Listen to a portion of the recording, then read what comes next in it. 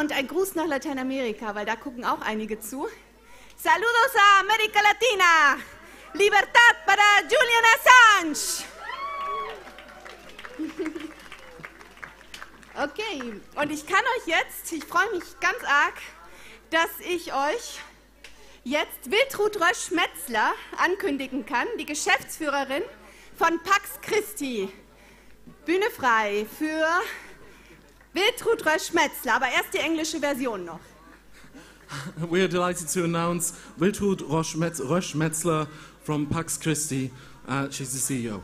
Liebe Mitstreiterinnen, liebe Mitstreiter hier in Stuttgart und im Netz. Advent im Christentum ist eine Zeit der Wegweisung. Die Schulpastoral einer Berufsschule in Oberursel hatte diesen Gedanken aufgegriffen. Schülerinnen und Schüler sammelten wegweisende und wegbereitende Vorbilder und beschrieben diese.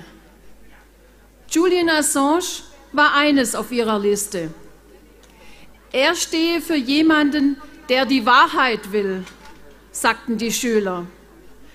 Das war im Advent 2014. Heute, im Advent 2020, ist Julian Assange Suche nach der Wahrheit ungebrochen. Seine Lage jedoch ist dramatisch. Als Häftling wartet er in England auf einen Prozess. Ein Gericht wird über seine Auslieferung an die USA entscheiden. In den USA droht ihm lebenslange Haft, nicht weil er ein Verbrechen begangen hat, sondern weil er bzw. seine Plattform Wikileaks Verbrechen aufgedeckt hat. Julian Assange braucht deshalb unsere Solidarität. Julian Assange darf nicht ausgeliefert werden.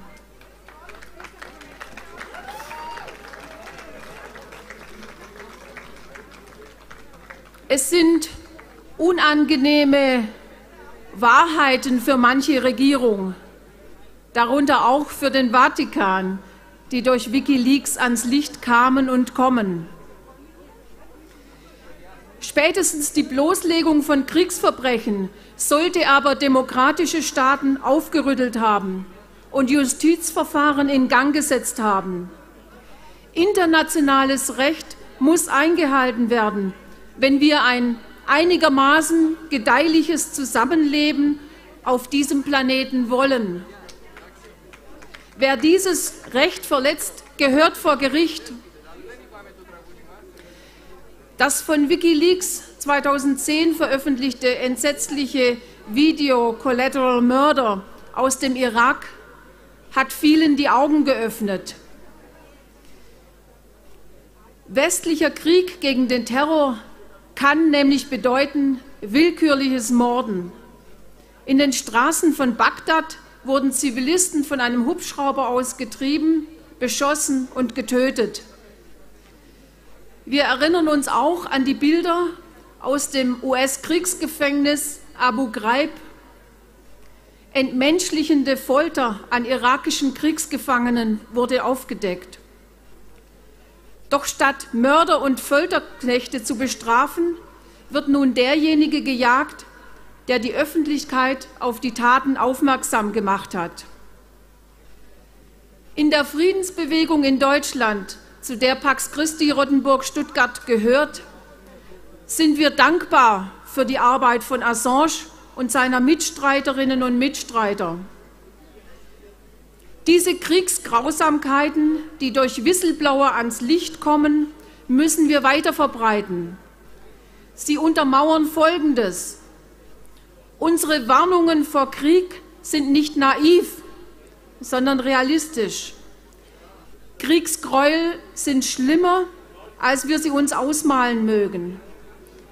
Rufen wir von Stuttgart aus die Staaten der Welt auf, die jetzigen und künftigen Generationen vor der Geißel des Krieges zu bewahren, wie es in der Charta der Vereinten Nationen heißt.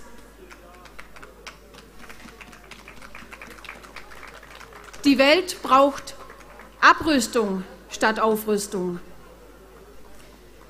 Im Advent 2020 ist Julian Assange ein Wegbereiter. Ein Wegbereiter für die Wahrheit, für die Pressefreiheit, für die Demokratie. Wir setzen uns ein für sein Überleben und fordern seine sofortige Freilassung.